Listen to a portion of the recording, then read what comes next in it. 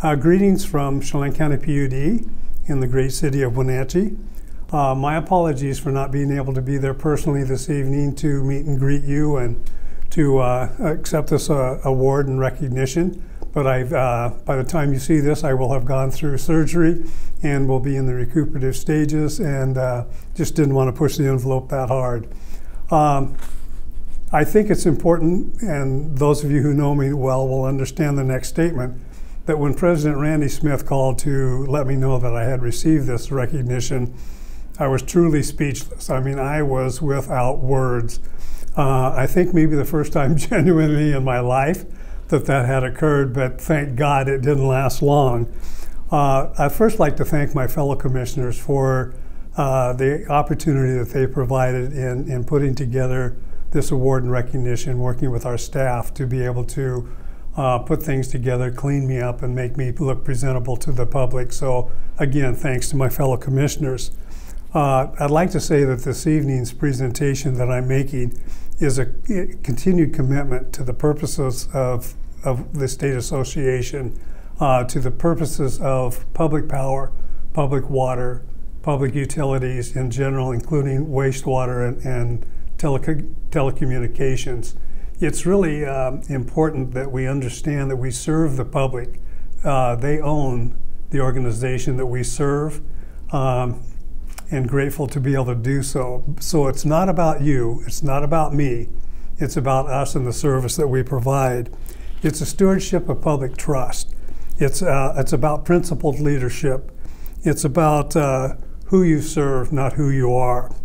Um, the award is also uh, some recognition for your community service above and beyond your commitment and service to the PUD. Um, in that respect, it's a shared award, and that's going to be my theme for this evening um, the, the shared award and how that comes about.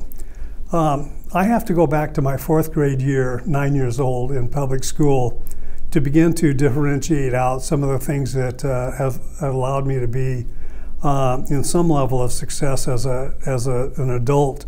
Um, the class was structured in a very different way than most classes. Uh, I became an educator and committed myself not to behave as my fourth grade teacher behaved. But one of the things that she did was to divide the class into an A row, a B row, a C row, a D row, and an F row. And about every three weeks, she would total up the points in the class and arrange us by uh, academic order. And uh, there were only two of us in the F row, and my consolation in fourth grade is I was one seat ahead of Bill Root. Um, and also in fourth grade, I was uh, labeled at that time as what was called a reluctant reader. We didn't have special education or didn't identify special needs. Uh, now I would be classified as dyslexic, and specific programs could be, you know, would be developed to help me learn to read and to read more effectively. But at that time, they just simply took you out of class and sent you to the library to work with a librarian. And fortunately, Mrs. Taylor gave up trying to teach me to be a better reader, knew that I love biographies, and, and would present a half hour twice a week new biographies for me to read. And in one of those books that she gave me was a great black Southern educator, a college president, who had a sign on his desk that said, Find a need and fill it. And every spring he would meet with each one of his graduates and he would ask them the question, uh, so what are you going to do now that you're graduating from college? And some would give the proverbial uh, younger person response of, mm, I don't know. And he would always point to a sign and he would just say, then find a need and fill it, and you'll find that yourself having a fulfilled life. And so, as a fourth grader, I remember that very clearly. And so, my purpose in life um, was twofold. One is I began to recognize, and a, there's a great quote by Will Rogers. Uh, last a couple weeks ago was his 140th birthday, and so one evening I was reading Will Rogers quotes, and uh, one of his quotes was that uh, there's two ways that a man learns. One is by reading, and the other one is by associating with smart people. And uh, as a fourth grader, I realized I was a reluctant reader, and I was never going to be that that reader that became smart by reading if I was going to do things that were smart, I was going to have to surround myself by smart people. And so when I coupled the idea of finding a need and fill it and surrounding myself by smart people, I began to discover a pathway that has led to my uh, my adult well-being. Um, so you don't get where you get in life on your own. You get there because you have a shared existence, a shared experience with other people. Uh, first, I'd like to acknowledge my marriage my married life. Uh, Joycelyn and I have been married now over 52 years, and when we met, it was at the end of my freshman year in college. And uh, at that point, I had a 1.97 GPA. And my last semester in college, after being married to her for two and a half years, I had a 3.96. So it's sufficient to say that if you want to be successful in life, marry someone who's smarter than you. And uh, I was able to do that. We had three sons who were smart. And so I just nested into that home environment and, and wrote it out. Even, even the dog was smart. Um, our sons have been successful, and I'd like to attribute that to you know mom's genetic contribution. Um, in my profession, I was fortunate enough when I got to Wenatchee High School as a social studies teacher to uh, be in the department that was rated number one by the state superintendent's office. And so, again, professionally, I was surrounded by a group of smart people who took their uh, role, their responsibilities as educators very, very serious. And they were smart enough to carry it off. And again, I just simply nested inside of that environment, wrote it out in, in the comfort of being surrounded by people who had oftentimes better ideas and better experiences than I did. Uh, I became a school administrator and was fortunate enough to be mentored by the late Dick Johnson and, and the current Dick Sharman, two of the most talented and gifted people I've had the opportunity to work with in life.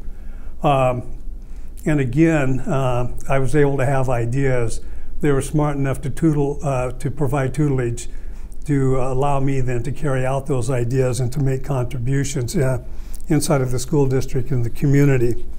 Uh, at the PUD, um, I'd like to give tribute to two past commissioners, Norm Gutzwiler and Karna Berggren, for their uh, their intelligence and their willingness to provide leadership to me uh, steel sharpens steel. We didn't always agree, and I had to buy a few drinks on occasion to make amends for crosswords and, and, and some difficult passages. But they were smart, and they uh, pointed out very clearly areas where I needed to improve. Currently, I'm surrounded by President Gary Arseneault, Vice President Steve McKenna, uh, Ann uh, Congdon is our secretary, and Randy Smith is the other commissioner. Uh, again, a commission that is, is very bright, uh, very intelligent, and uh, you know we work well together, and I appreciate their leadership. Past-wise, at Chelan County PUD, we've had three. I've had the experience of working with three general managers: Rich Riazzi, John Janney, and currently Steve Wright. And in all cases, they've had skill sets and intelligence levels that have been uh, significant. And again, uh, just the privilege of being able to work with someone who is very capable and by far beyond my capabilities. At WPUDA, I would like to acknowledge George Caan as our executive leader, John Counts, Lena, Carol, Jamie, Liz, and Stephanie. Um, without all of you guys, this organization accomplishes little. And the collective intelligence among that group is, is really significant. Pardon me.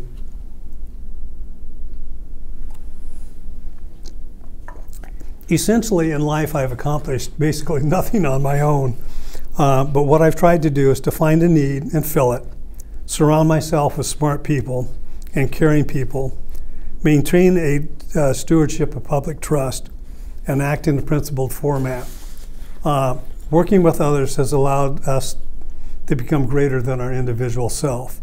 I'm grateful to all of you for your support let us continue to work together as we move forward in doing the people's work. Thank you, and I uh, humbly appreciate the uh, reward and the recognition, the award. Uh, thank you very much from the bottom of my heart.